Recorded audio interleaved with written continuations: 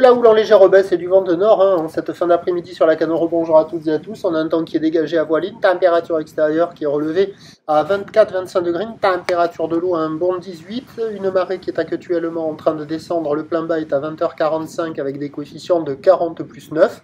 Et sur cette marée qui descend, on a le vent qui est repassé nord, il n'arrête pas de tourner, en tout cas il n'est pas du tout offshore, hein. il est nord, il est faible à modéré, il y a un beau fort établi des rafales à 2, le plan d'eau est ridé au bord, un peu de clapot au large, les faces de vagues sont ridées, là où il est un peu sectionné multipique, un peu moins propre, longue avec 11 secondes de période orientée ouest à ouest-sud-ouest, en légère atténuation hein, donnée par la bouée PIM, euh, Arcachon-Gascogne, à 1,69 secondes. C'était pas un bon pim là.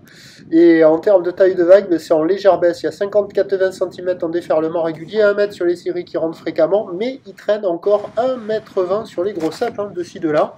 La barre est facile à franchir, les vagues sont moyennement sélectives à réserver pour des surfeurs intermédiaires sur un plan d'eau qui devient un peu agité, avec la marée qui descend. avec la marée qui descend, il y a des bouts, mais on se retrouve un peu dans le même schéma que ce matin, quoi. On va pas glisser sur des euh, centaines de mètres là. Donc il y a quand même des bouts, il y a de quoi glisser.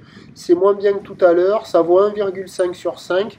Il y a des bouts à attraper de ci de là sur les meilleurs bancs de sable. Il y a quand même pas mal de monde à l'eau, pas mal de monde à la plage. Voilà, ça reste praticable, même si c'est un des moins bons euh, créneaux de la journée.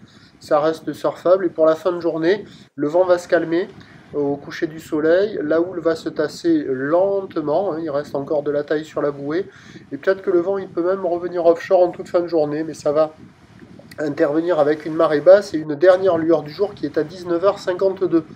Donc euh, il ne faut pas rater euh, la session du sunset. Sur un bon banc, il y aura quelques bouts à attraper, mais attention, on ne va pas glisser hyper longtemps a priori.